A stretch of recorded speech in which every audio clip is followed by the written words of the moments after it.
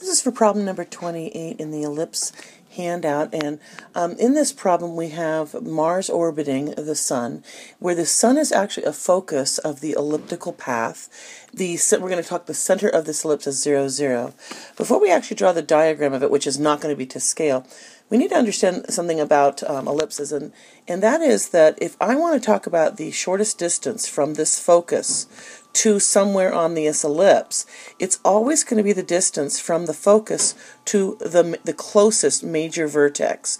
And if you can imagine that if I were to change the eccentricity of this ellipse, meaning as this as as this ellipse would get uh, made more more and more narrow, this focus would get closer and closer to the ellipse, and so this circle would keep getting smaller and smaller and smaller, always fitting inside of the ellipse.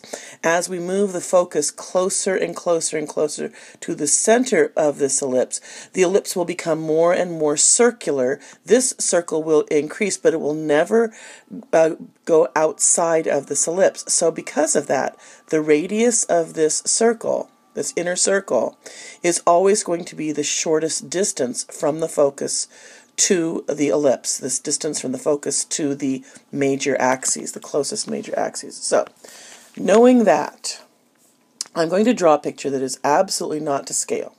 And here's my picture. And be, the, one of the reasons I say it's not to scale is because I'm saying this is the focus. And we can see that in my diagram, it looks like the focus would be closest to the ellipse here. But from our previous diagram, it's just because I, I wanted to exaggerate the ellipse so that we could see this orbital pathway. And here's a focus. And we're going to talk about the shortest distance and the longest distance from the sun to the ellipse. And we put in those numbers that we were given.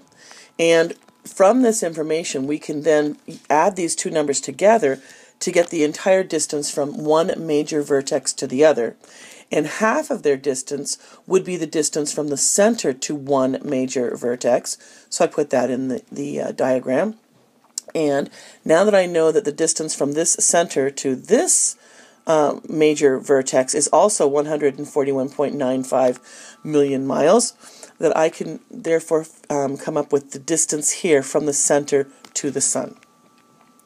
So we um, figure those out and we say, why do I need those numbers? Well, those numbers are because those are the A and the C that we need for our equation, that the distance from the center to a major vertex is going to be your A, and the distance from the center to the focus, this 12.45, is going to be my C and then I can use that to find the b that I need for the equation. So I've got my b squared, there's my b.